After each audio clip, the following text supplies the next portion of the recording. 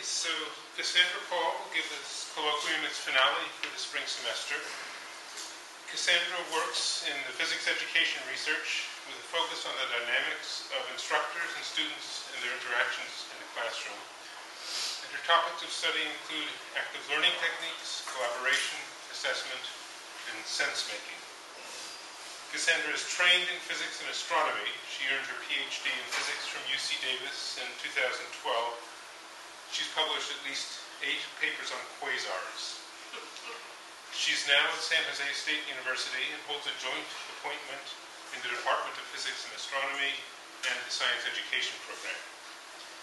She's currently working on developing tools for studying both instructors, that's RIOT, and student participation, that's SPOT. And she'll talk to us today about rioting in the right spot, identifying a catalyst for reform, in higher education STEM courses. Thank you so much. I'm really excited to be here today. Um, and um, I guess something about me is that I like puns. And um, I actually, my, my talk today is called Rioting in the Right Spot. And um, I think that I think that this title is a little bit clever.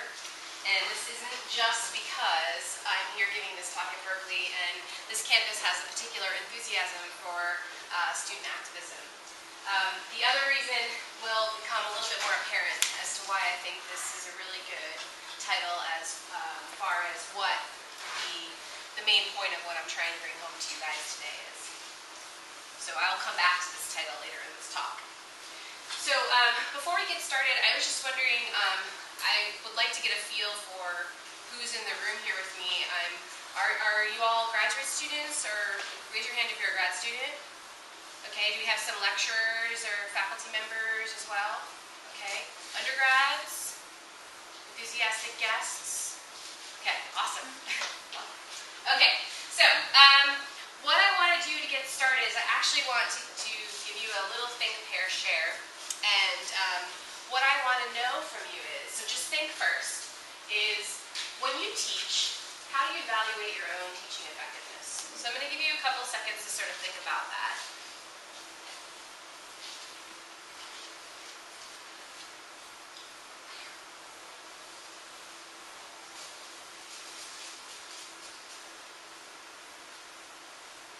Now go ahead and turn to your neighbor and talk about talk about how how you evaluate your own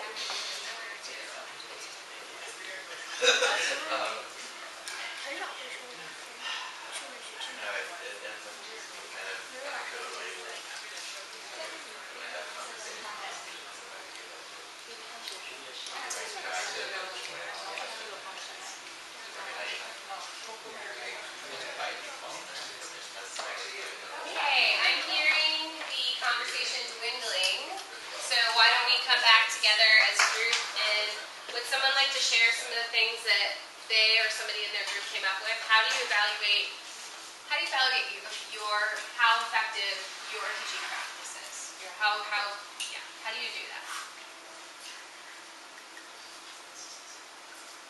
Yes? ask the students, you know, via evaluation forms. Okay, so questionnaires. student evaluations, Yeah. good.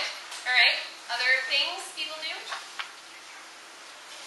I teach in a idea science course that's much bigger than just my sections, and so I compare how my students are doing relative to the, So, so how do you, how do you see how your students are, oh, you, compared to, like, my students compared to the larger group, just to see oh, where okay. they, So you compare like their grades to, to, to Their other people, performance, teach their huh? performance. Okay, great. Other things?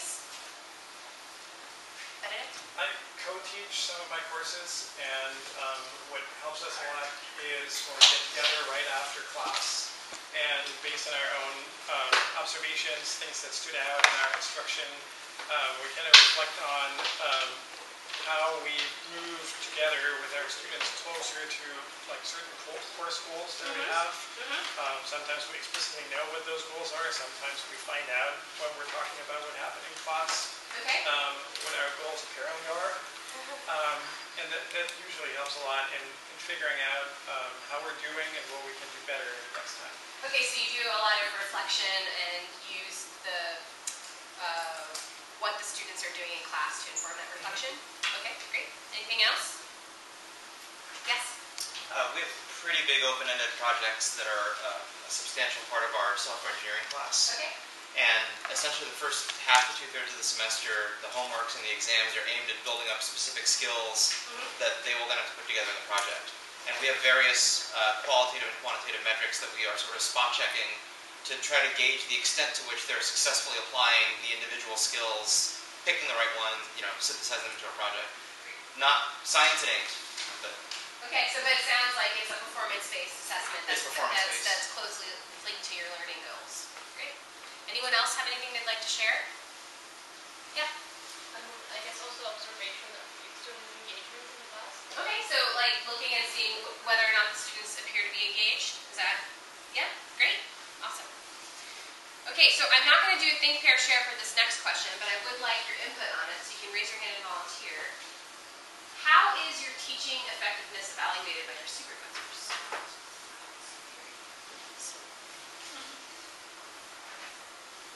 Yes?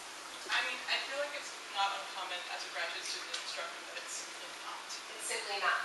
Yeah, I know that was the case when I was a graduate student. I was definitely not, um, my, my teaching effectiveness was not evaluated by my supervisor, so I can sympathize with that. Anything else? Benedict? I think to a large extent, um, it has to do with um, like grades um, at the end of the semester, um, student evaluations, mm, and also to some extent um, observations. Okay, so uh, peer observations or, or supervisors are coming in and checking? Supervisor, Yep. um, typically, yeah. Okay. Great, student evaluations, grades, uh, and, uh, stu- student evaluations, grades, and observations by your supervisor. Okay, anything else? Okay, one more. Oh, sorry, go I, ahead. I don't know, I, I'm not sure if this counts as that, but uh, the course that I teach, I alternate it every other semester with a different instructor. Mhm. And if you look at the student demand, there's a, a high imbalance between the two.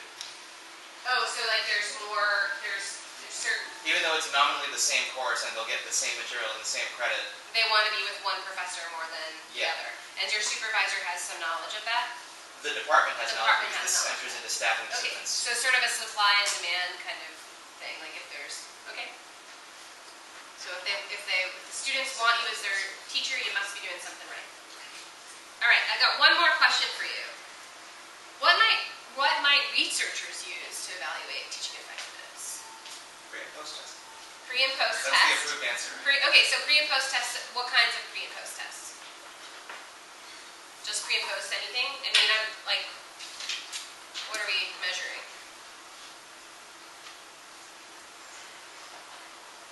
Are are you looking for the approved answer involving? I'm not looking for any approved answers. There are no right and wrong answers. This is just a, just how might they do this? Because there's actually a lot of ways researchers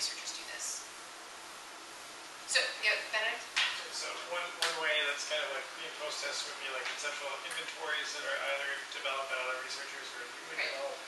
Another way um, would be video record, recordings and looking at like um, what happened in a particular setting, um, with like how did a group of students move from one point at the beginning to another point at the end. Okay, so I heard you say two very different things. So pre and post tests, you could be testing for like a conceptual inventory, or maybe you're more interested in student attitudes. Um, so you're looking for some change that the course has implemented on them. The thing about these is that they're usually validated by research and very reliable. Um, so there's there's set ones out there that people can use to pick up. The other the other thing that I heard you say was talking about um, in, intensely researching videotape and seeing what's happening in the classroom and sort of modeling that particular thing. Okay, so we have a lot of ideas here. We have three different stakeholders. We have the faculty, or in your case, graduate students, so the instructors. We have the administration, or the supervisors, and then we have researchers. And we have all of these different folks use not necessarily the same methods of evaluation for teaching practice uh, teaching effectiveness. And this particular um, Venn diagram that I I, I put this this Venn diagram together from a paper written by um, oops sorry um, by Henderson et al.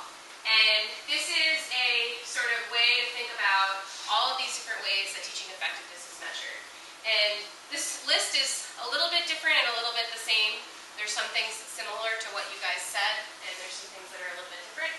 Um, this is just based on what the majority of the faculty members said. So he interviewed uh, several faculty members in physics departments and asked them about these particular sorts of things.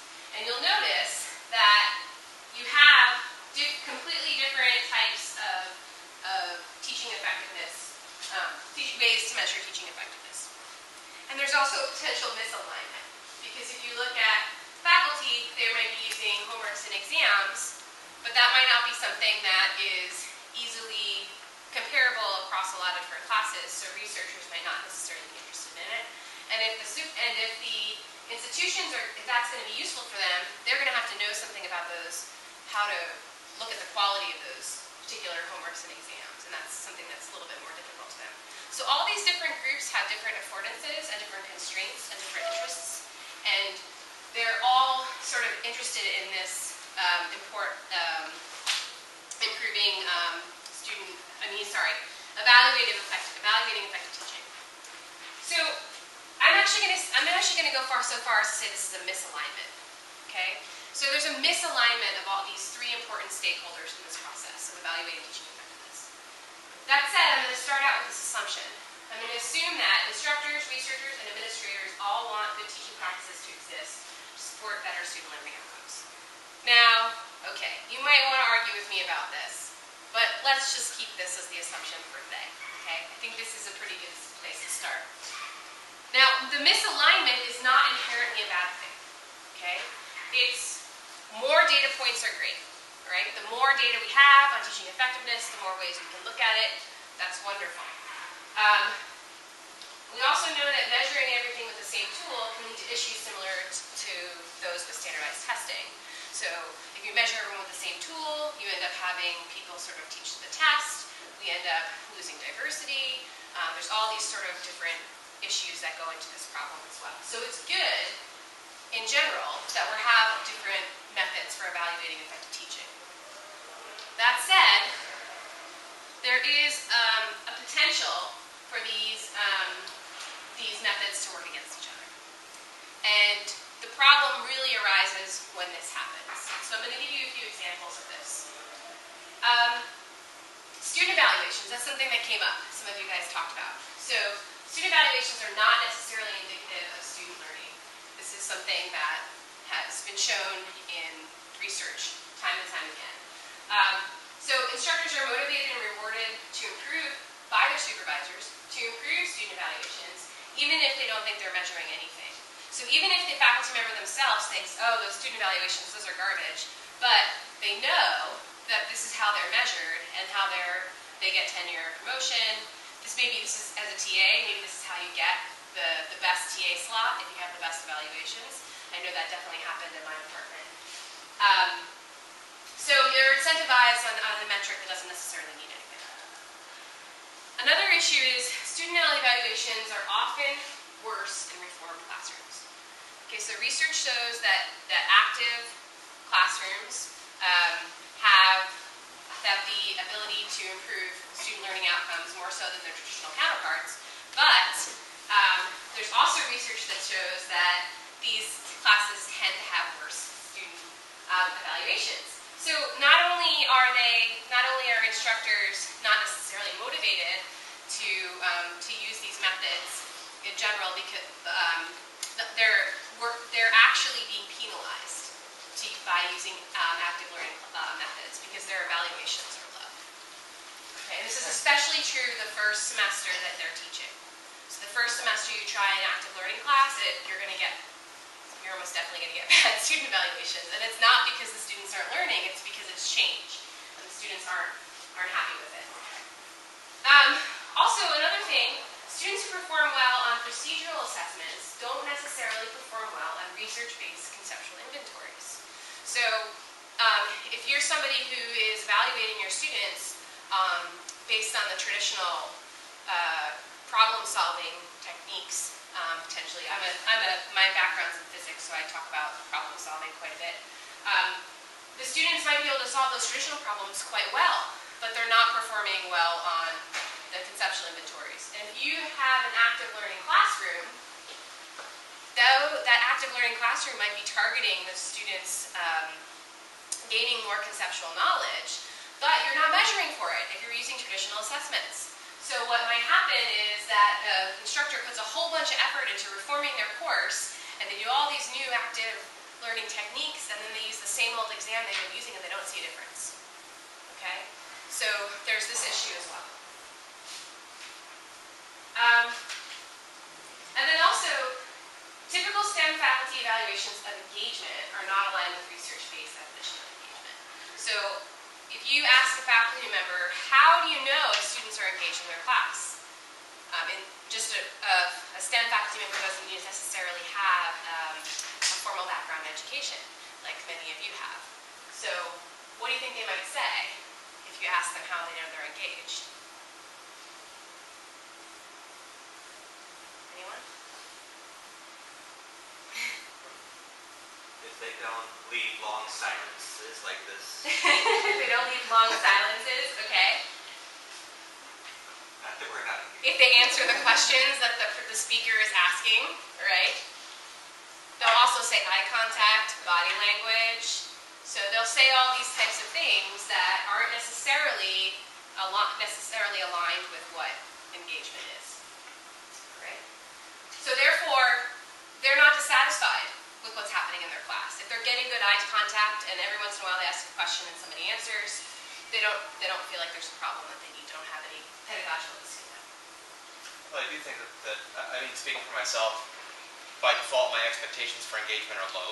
Mm-hmm. So I- I'm not dissatisfied, but it's because my expectations have been set pretty low. Right, Um, right. And I've been trying to do things to foster engagement more concrete, like you know, clicker questions and group Sure. discussions of things. But Great. No, and I think and this is just a, this is just a way of being that being misaligned with researchers. I'm not saying this is a bad thing by any means. Okay, it's just a misalignment.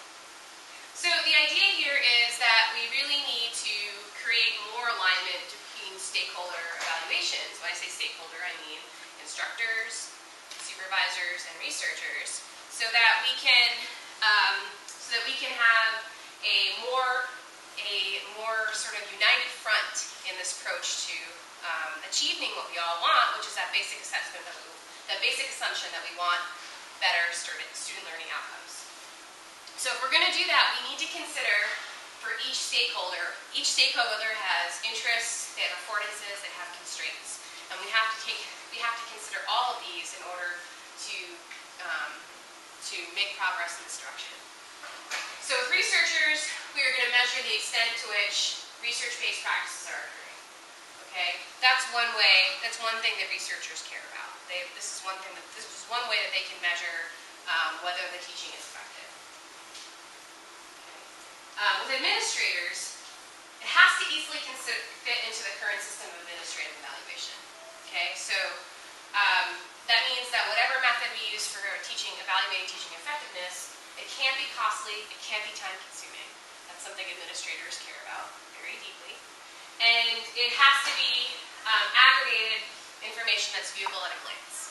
Okay, so it has to be something that they can look at, like your, like your student evaluations. They can look at that, can see a number, and they can quickly put you in a box and say your teaching is effective or it's not. Okay, so it has to be something that they can do in that. For instructors or faculty, it has to be something they don't hate. Okay, it has to be something that they don't hate. And I'm going to clarify that a little bit. Um, it needs to be objective, non-judgmental. So um, one of the things that was brought up was peer instructions, um, peer, peer observations. So if you don't have a lot of faith in the fact that this, the person that's observing you is somebody who's qualified to comment on how great your teaching practice is, then that evaluation is not going to be useful for you. Okay? And this is potentially not necessarily common or not much, as much of an issue in an education program, but it is very much so in um, STEM programs. Okay? It also needs to be illustrative. It needs to be, give them information that they care about. So, so that's got to be something that they this is, this is that they data or you know that they care about in the classroom. Um, and it's got to require effort that's consistent with the current system evaluation. So we can't just have a whole bunch of different professional development opportunities and then have some pedagogical exam at the end and then say, oh look, everybody's, all these faculty are much better, more effective at teaching. Um, it's got to sort of fit into the system that we've got already for them. And STEM faculty, they love data. All right, so science, technology, engineering, math faculty love data. So this is one hook that we sort of have for them. So coming back to my Venn diagram here that's created with the research from Henderson is we're really looking for an evaluation method that can fit right in this spot. This spot here, right in the middle. Emphasizing the word spot. And I will come back to that in just a second. Um, the what we if we're looking for things that could potentially fit in this spot in the middle here, one of the things that comes up is if you look at faculty and institutions or superiors, do you look at peer or supervisor or supervisor classroom observations. So this might not be practiced at every institution, but for example, at my institution, all the faculty members are evaluated by a peer. Okay? Usually this peer observation consists of a, um, a worksheet that has a few questions and sometimes a Likert scale type. Um, uh, you know, on a scale of 1 to 5, rate how good the professor is at board organization. Like, I'm not kidding. Okay, there's a lot of this kind of stuff on these, on these, um, these types of questionnaires. Um, but then you also look at the educational research measures, and they also are interested in uh, theory-based observational, research or theory-based observational protocols. So there's a potential alignment here. These are just very different types of tools. This one potentially does not, this one um, is just a form that everybody fills out. There's not really a lot of validity, there's not reliability, and it's not necessarily aligned with research-based best practices. Whereas this one is more so valid, reliable, and based on research-based practices. Um, and this one requires a trained observer. So they're very different, but they're all but they're the same format. Okay? So what we can do is we can look at the potential observational protocols that are out there, and we can examine whether or not they're going to be a good fit. So I just picked two that are out there, that the two that are most commonly used in my field, which is physics education research. The first one is the, the RTOP, the Reform Teaching Observational Protocol. How many of you heard of the RTOP before? Okay. So the RTOP is a, it is a, gosh, I don't even know how many questions it is. Um, but it's a combination, like uh, Likert scale, like one rate on one to five, how well the teacher is, how student-centered the classroom is. Um, and then also requires the observer to write evidence as well. Um, it does reduce the evaluation to a single number, which is nice for the administrator's point of view, because the administrator likes to be able to aggregate data and be able to say, okay, you are you are an effective teacher or you're not an effective Um, it, but it does require training to use.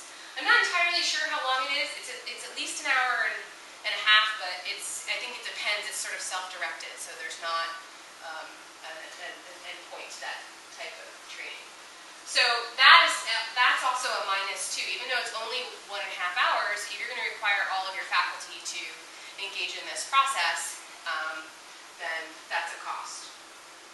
And it's also it's also this, this is arguable. It's not really dependent on the judgment of quality because the RTOP is something that if you are trained, you can this can be a reliable tool that you can get the same results viewing this viewing the same classroom over different observers. However, um, there is this you do have to rate the quality of instruction. And so if this is this and so if you don't trust the person observing you, they're making a judgment on your your on your teaching, you can it's easier to sort of throw that out and not be excited and not think about that as an important thing. The other one that is um, comes up, it's rather new, is called the Classroom Observation Protocol for Undergraduate STEM Courses, or COPUS. Has anybody heard of COPUS before? Okay. Great, so new to everybody. Um, so COPUS is, is another type of observational protocol. It looks like a, a big worksheet with lots of grids that you write codes in. And what happens is an observer watches and every two minutes puts check marks to see what's happening when. Um, and this is independent, this is nice, it's independent of peer judgment of quality. Because all the person is doing is they're rating what happened. Did this happen or did this not happen in this two minute period? So they're not saying anything about quality, they're just saying it happened or it didn't happen. Yes? So, sorry for the newbie question, but No. do protocols like this, are, are they following essentially the same protocol regardless of whether it's a small section discussion oriented versus a more lecture format? Uh, if it's a smaller group of students versus a very, very large group of students? So they're the same, it's the same protocol regardless. And you And will, is that cool? is it cool? Yeah, like, I mean, well, like having taught small sections that are heavily discussion oriented Right. and having also done large lecture sections, uh, it would surprise me that sort of the same rubrics could be used to assess what's happening in those two very different Right, so, environments. so I think the answer to your question is, so yes, the same protocols used, and I think the answer to your question is, and I'm, I'm not that well versed, the COPUS is brand new, so I can't tell you to what extent that this is the case or not. But with RTOP, I think it's true that um, in a large lecture course in the RTOP, you're going to get a lower score than if you have a smaller, well, not necessarily, but you have a, a, um, a more of a potential to score a larger score with a smaller group. And that would be taken into consideration, um, but it's not, but the metric stays the same. Okay? Um, and then the other thing about this, this um, the COPUS is that when you're done when you're done as an observation with the COPUS, you have a whole big grid all these different codes of what happened. And then that data, in order to do anything with it, in order to figure it out, somebody has to enter that data and make graphs with it and look at it. So it's a really both of these tools are awesome. Like they're very cool tools, they're very useful for what they do, but they don't really fit in the spot. They don't really fit in the middle of this of this Venn diagram. So now we come back to my title, rioting in the right spot. So these, as um, as Lloyd um, talked about in my in my um, introduction, these two um, words here, riot, stand are, are proto- observational protocols. This first one is um, the real-time instructor observing tool, that's riot, and SPOT is um, the student participation observation tool. And really, these two observation protocols sort of get at that spot in the middle of the, of the Venn diagram. So, I'm going to talk to you about these two different observational protocols now. So the real-time instructor observing tool, Riot, um, this was developed, it wasn't developed to address this issue. It was developed for, actually, for you guys, for most of you, who are, who are graduate student teaching assistants. Um, it was developed as a professional development tool um, for students teaching an interactive course at UC Davis. Um, it was, it's instructor focused, meaning that it meaning that when an observer comes in, they collect data on only the instructor. Well, and their interactions with students, but not really the students. So they're following what the instructor is doing the whole time. It was specifically developed for interactive courses. Okay, so when I say an interactive course, I mean a non-lecture course, a course where students are in groups most of the time. Okay, it wasn't rigorously research-based, and I say rigorously because the way that we, the way that this tool was developed is that the researchers went into the classroom, they observed sort of what was happening, um, and through no formal process, um, themes appear, or categories of types of interactions appear. And so those were included as the, um, the things that, we, that the researcher was looking for. And we can make some claims based on uh, student learning theory about how these categories are and are not supportive of student learning. Okay, the second tool, is the SPOT, the Student Participation Observation Tool, um, this is the tool that I'm currently developing, in the process of developing right now. And this tool is absolutely um, addressing this spot in the middle of the diagram. And we didn't name it because of that, I just figured that out later on, I thought it was very clever. Um, but we have, this tool is developed in response to misalignment. It is student and instructor focused. So it doesn't just focus on the instructor, it also takes into account what the students are doing to a much greater extent than the riot does. And it's developed for a lecture.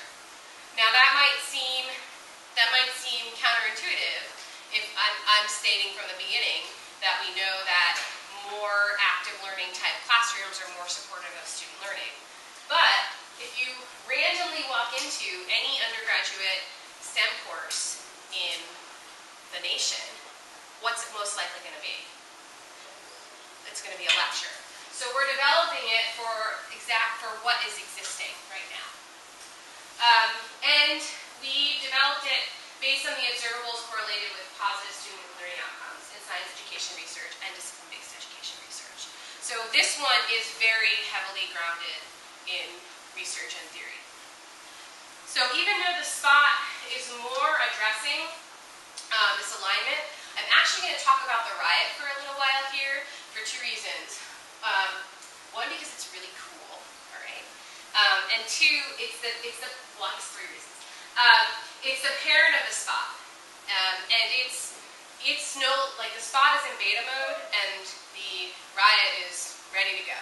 So looking at the riot will sort of let you see the potential of what, what spot will be when we're done with this project. So I'm going to talk about the riot first. So the riot, real-time instructor observing tool, is actually a web application.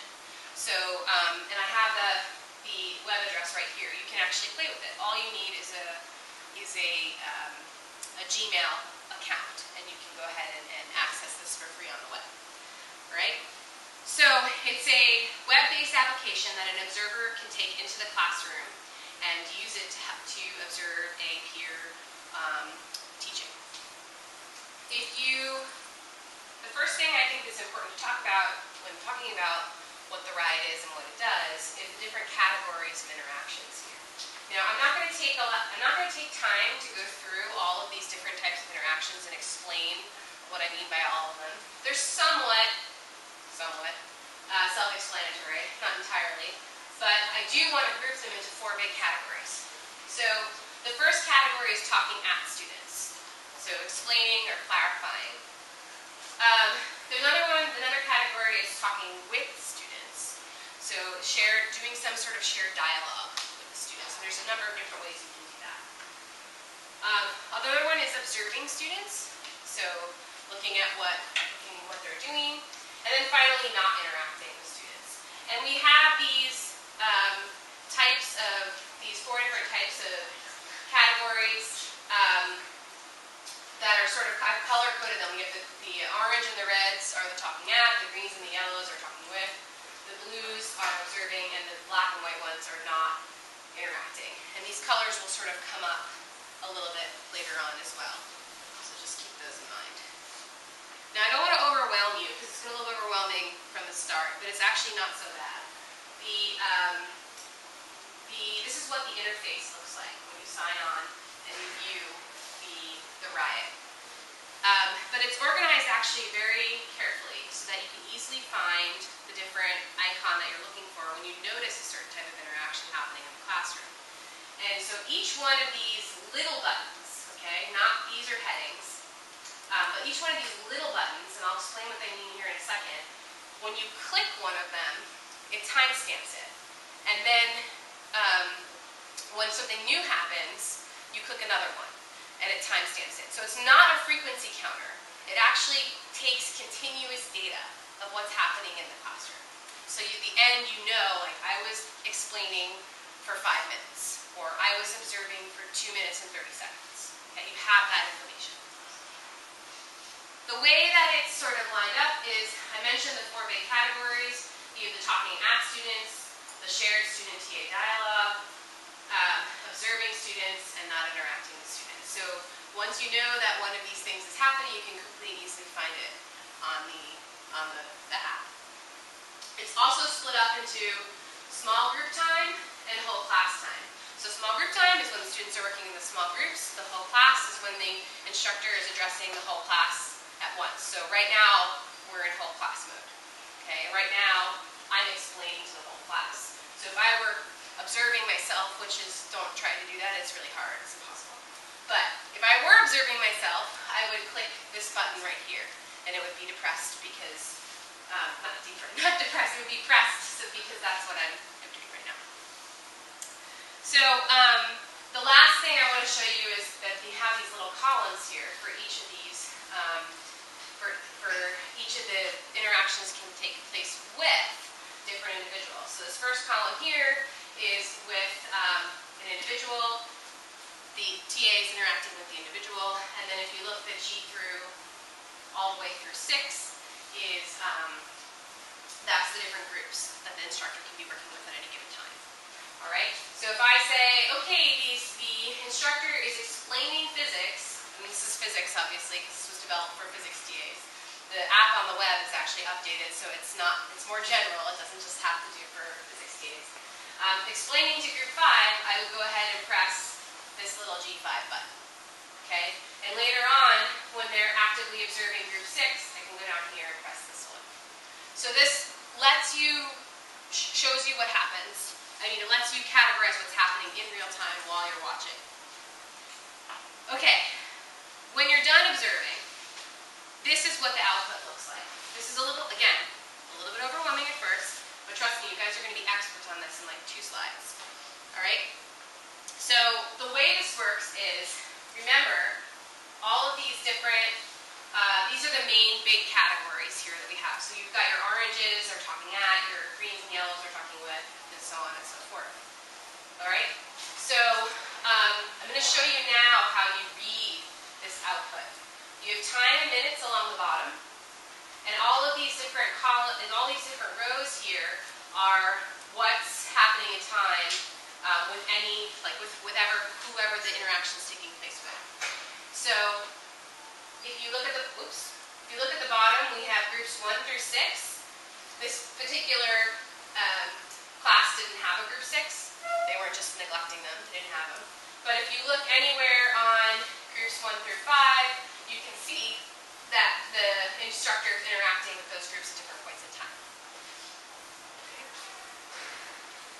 Then this line here is when the, the instructor is interacting with an individ- individual. So what that means is if the student leaves their group and comes and finds the instructor, or if the instructor is just talking with one person and not and not listening or paying attention to the rest of the group. This next line here, all this line is is that aggregation of these six lines and the individual, because so that you can quickly and easily see how the instructor is spending their small group time. Okay?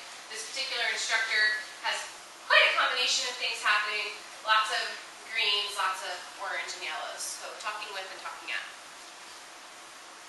Um, this top line here is how the, the instructor is interacting with the whole class. So if they're um, like they're talking like I am right now, that would show up in this line here. And it's kind of cool because you can see this instructor has uh, just gives really brief instructions to get started, and then has three class whole class discussions, so three points where they address the whole class. And then finally, this row is probably the hardest to interpret. Um, this is the small group whole class line. Essentially what this means is there's a, there's a few times um, during each class where an instructor would address the whole class when they're in um, their small groups. Usually this will be like, hey everybody, you're all on the wrong page. You all need to be on page seven. So they're clarifying instructions. Or it might be something along the lines of they're passively observing the whole. So if they're passively observing the whole group, it's something that they're engaging with the whole group, but they're not actually interrupting small group time. Okay. So even though I've now just told you how to read these lines, what I want you to, I want to play, oh, I forgot to do this one. Uh, this is just the non-interacting time. So sometimes the instructor leaves the room, sometimes they're doing grading, sometimes they're doing anything else besides interacting with students. So now we're going to play a game. This is the interactive part of the talk again. We've got two outputs here. Um, I named my TAs in this study after elements. We have TA sodium and TA sil- silicon. And we have two different, um, the exact same set of activities. So two different TAs, two different groups of students, but this is the exact same set of activities. And we have, I have sort of aggregated the um, types of interactions into these bigger categories so we can make a more easy analysis. So what's the dominant colors, or color or colors in this top one? Red and blue, okay? So we've got this red, which is actually explaining, and we've got this light blue, and this light blue just means passively watching the class. Okay? What about down here? What do we got? Green, a lot more green, so a lot more talking with students. Anything else? Any other dominant colors? I might argue that there's a lot of dark blue, and that can that can mean either student presentations or standing next to student next to student groups and actively watching what they're doing. So, are there anything anything else you notice about? I'm not looking for any particular thing. Are there any observations you have about when you compare the top one to the bottom one? Sodium doesn't interact with the groups. Sorry. Oh, I sorry. Sodium doesn't really interact with the groups as much as silicon does. Yeah, sodium is not really interacting with any of those groups. They're just sort of a little bit maybe checking in here or there. Um, but this is silicon. He's he's going around to all the groups. You can actually see him walking around the room. One, two, three, four, five. Yeah. Anything else? Other things? Yeah. Sodium also spends more time not interacting with anybody.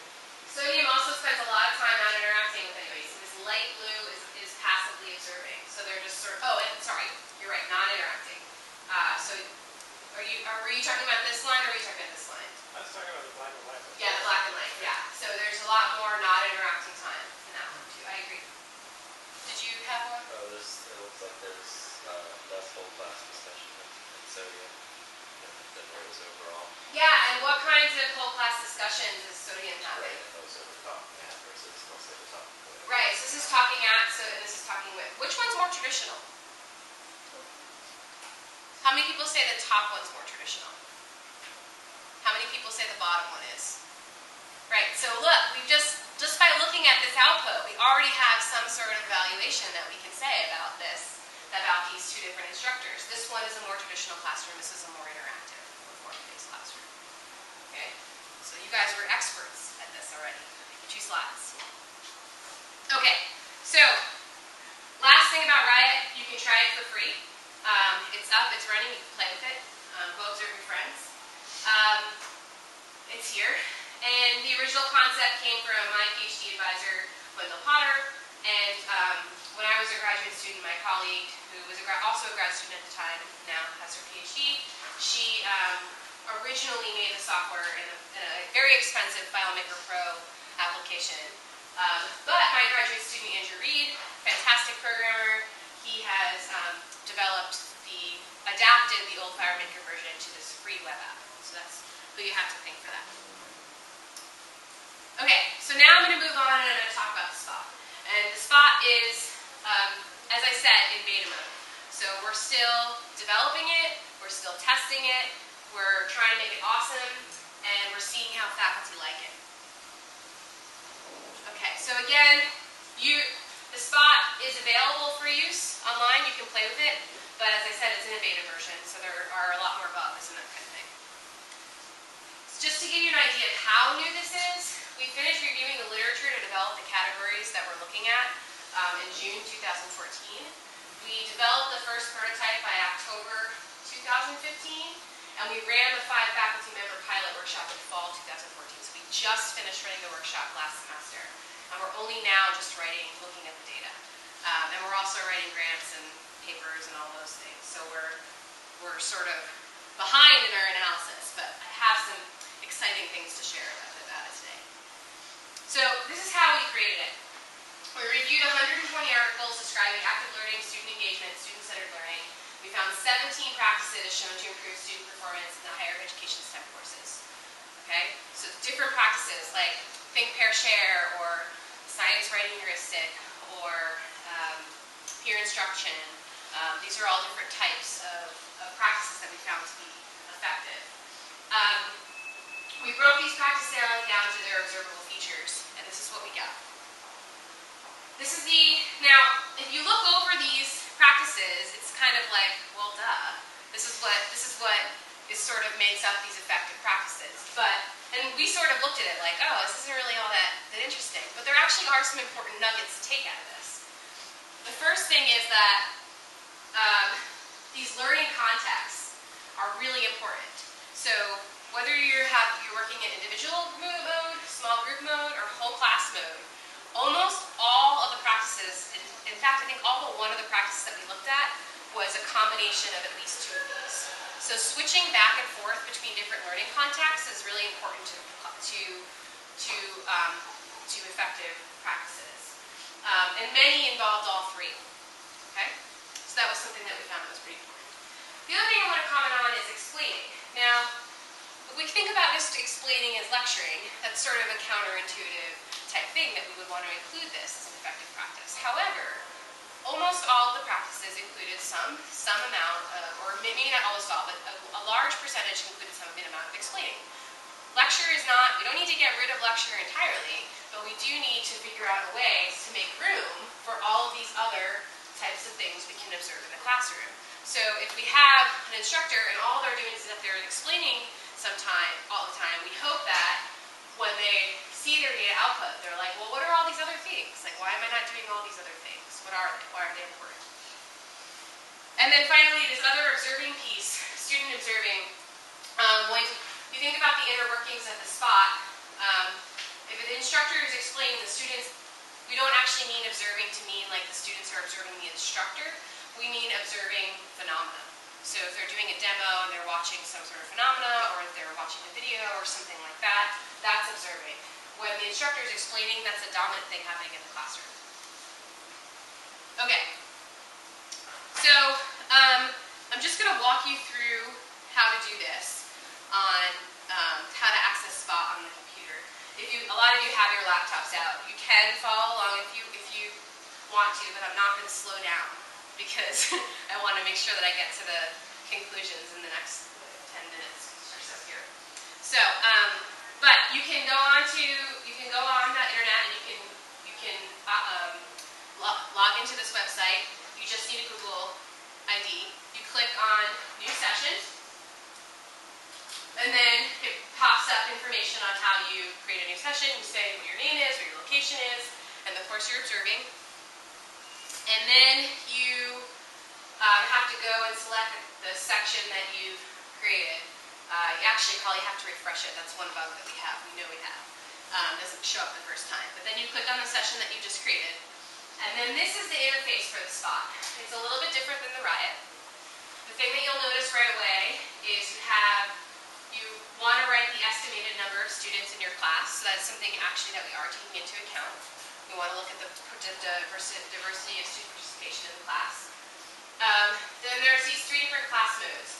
Whole class, small group, and individual. Those are like the main learning contexts that we found.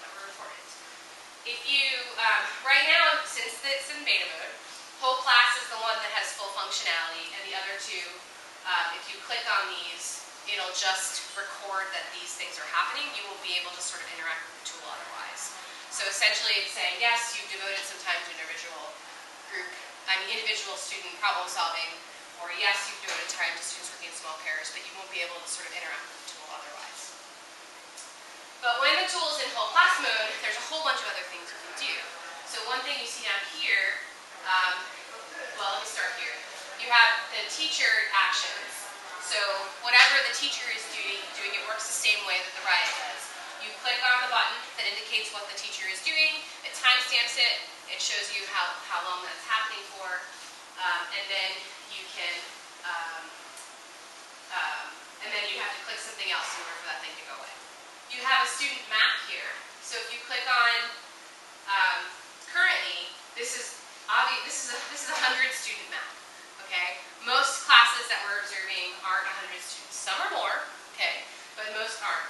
And so the instructor sort of has to like use their brain to sort of map like what the classroom somewhat looks like and who's participating.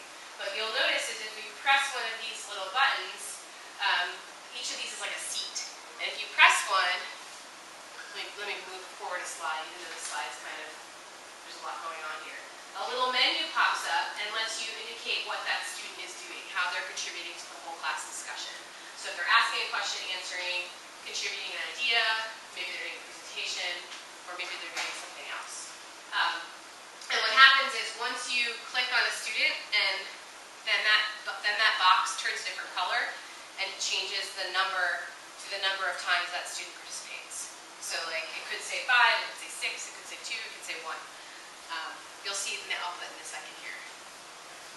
So and also the other features, it has um, a place where you can take field notes and then that shows up in your note log here. It timestamps everything for you.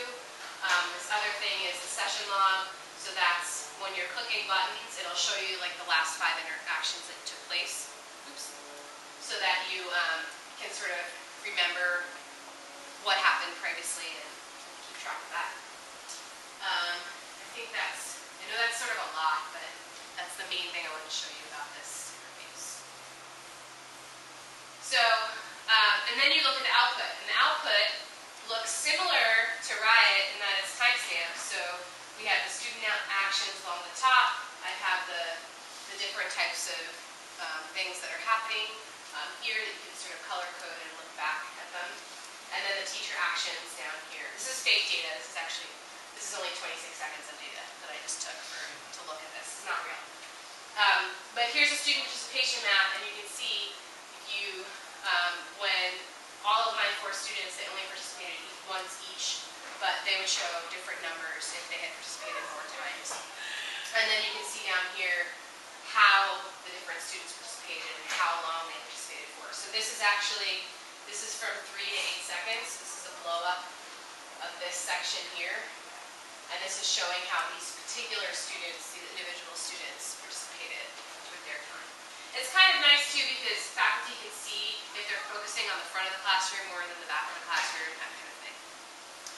So our workshop series or intervention that we did in our pilot is we did a pre-survey that asked the instructors about their beliefs, and then we had three different workshops. The first one was just how to use Spot, and we actually spent most of that time talking about the motivation of the tool, and only the last, um, gosh, like only the last maybe 10 minutes for, for them playing with Spot and actually figuring out how to use it.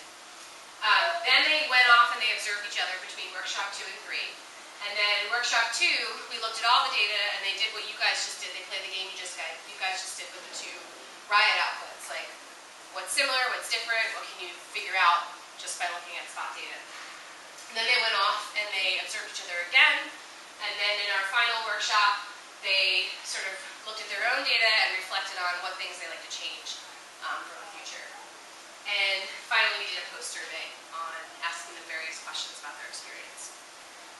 So overall, we had a few a few realizations that I thought were really great. Um, the faculty members said they didn't realize how little time they're actually they didn't realize how little time I was actually giving students to work on a problem when I intended to give them a few, maybe five minutes, it was more like one minute. So that was something, wait time is really important, and that's something that the spot helped them figure out.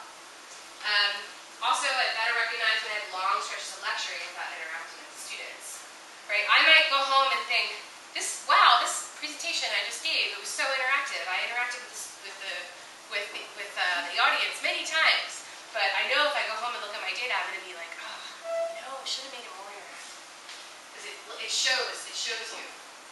Um, the spot gave me a of picture of how I need to work on spreading around participation more between my students. So if you have one student that's participated like eight times in one class, like that's going to help you figure that out. We also saw some evidence. Oh, sorry. Yes. Right, so for the faculty, are these all from, are these all physics, physics faculty or?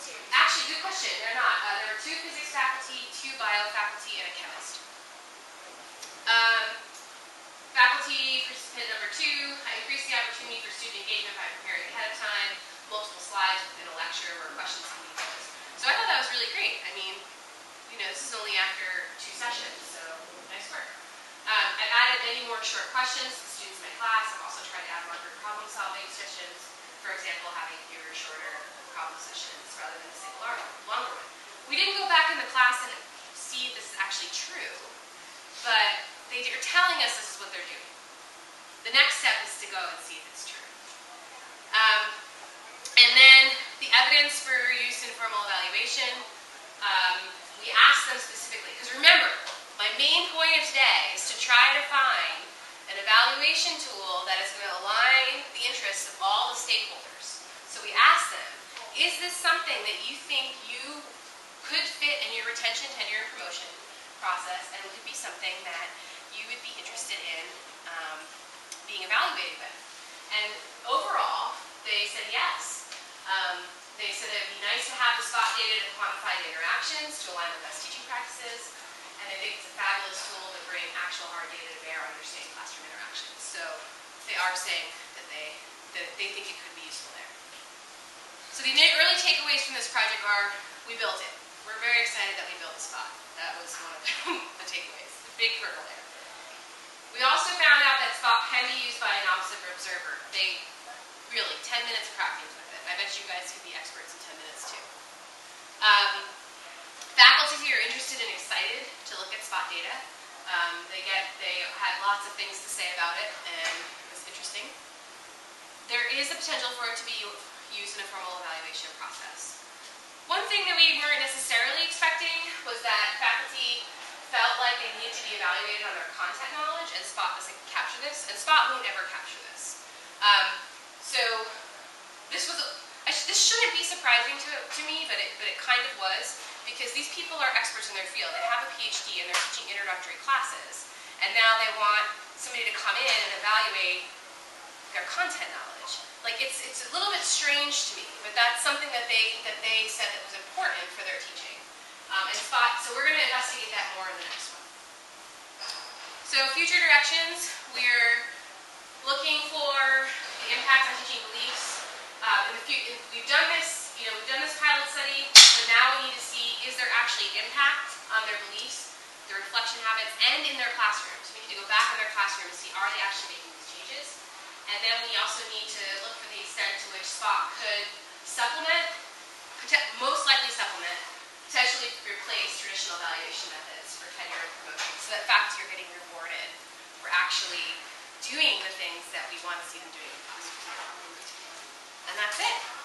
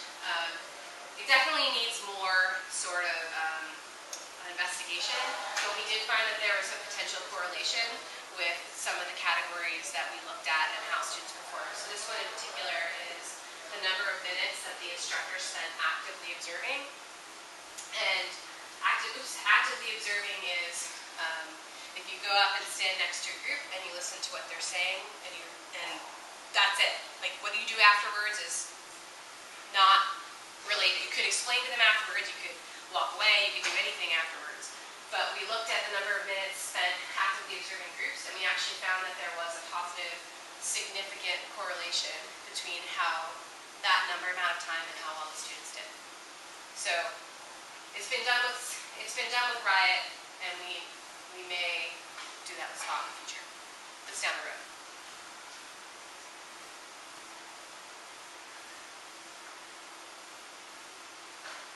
So you mentioned three stakeholders. Yes.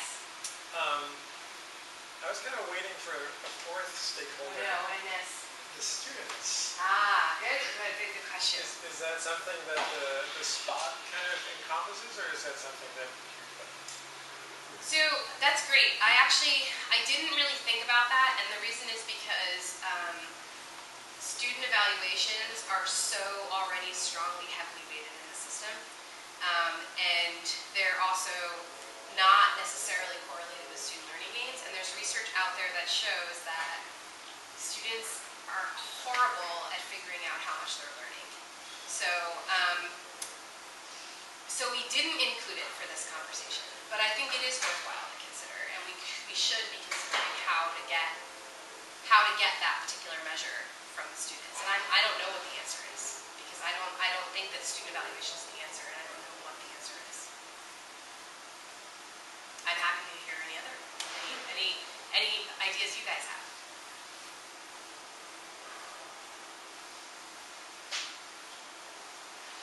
Question? Question. Yeah. No, no idea.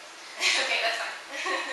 Um, some, sometime ear- earlier in your talk, you said that the faculty's measurements of engagement are different from research-based measurement of Mhm. engagement, and I'm just not very familiar with the third derivative of research. You're not familiar with, I'm sorry, what? With the research, the, Right. like, wh- what are these research measures of engagement? So um, I was specifically referring to discipline-based educational research um, methods, and a lot of those are, um, there, there are quite a few, for instance, um, conceptual inventories, like the one that I'm familiar with in physics is called a force concept inventory. Um, there are several attitudinal type um, surveys, which one is the, um, the CLAS, the Colorado Learning Attitudes About Science, is that, is that the- I can't remember that acronym, something like that. Um, so then they look at how um, students think more or less like experts in like their, how they think about knowledge, like how students think about um, scientific knowledge or the nature of science. There's things that measure about how, how students, uh, what students learn about the nature of science. So those are sort of the conceptual and attitudinal questionnaires. And then there's also these observation, these observing protocols that I talked a little bit about. So, but there are also more formal methods. There are also methods where, you know, you take a chunk of video and you examine it and you look for trends and you look for, you try to model what's happened through that whole video section. And that's something that, while a researcher can afford to spend a ton of time doing that, that's not necessarily something that a teacher is going to be able to do. Yeah. I guess continuing on that, but are, are these researchers watching the video, are they watching for different things, or are they also just watching for eye contact and, and making sure students Um, I, I would say that there, that every researcher is going to look at different video through a different lens. Um, I would say that very few of them are going to be looking for things like eye contact. Um, but they're looking, it's, I mean, eye contact is something that you can do whether or not you're actively engaged in what's going on. So it's not necessarily evidence for what's going on in the student, in the student's brain, which is a black box that we can never figure out. But there are certain pieces of evidence we can gather to get clues as to what's happening. And that's what researchers look for when they examine video. Just to add to that, um, so there, there have been studies that um, essentially have coded video um, based on body language, students' body language, um, just like if they're sitting back in their chairs, if they're like um, sitting forward in their chairs. And that has also been um, triangulated with like more in-depth analysis of what is actually going on in the moment. So the first kind of analysis can essentially be done with the, with the audio um, and then it would be like verified if that actually is an accurate representation of what's going on by actually carefully looking at selected episodes. Um, and that seems to be a pretty good measure for student engagement. Um, and that analysis has even been done the opposite way. Instead of looking at the video, um, it has been done by looking only at audio and just uh, listening to what, what students are talking about and coding that. Um, and that has also been shown to be very successful in, in measuring student engagement. And, um, sorry. No, no, that's, that's good. No, I haven't, I, it's, which, I remember a paper now that you mentioned that, where the students are sitting around a table, and the closer they are to each other, the more, the more is going on. A group at Harvard is trying to automate that process right now and have a computer actually do that code.